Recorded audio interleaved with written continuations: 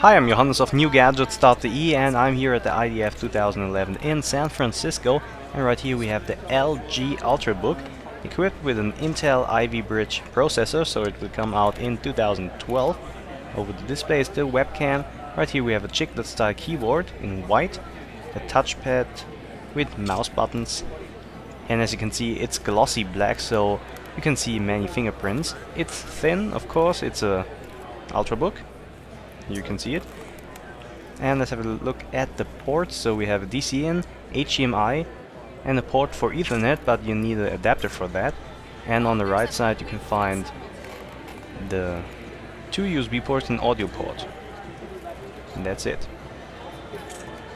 So, a very, very glossy black Ultrabook, also with a glossy screen. That's the LG display Shuriken 18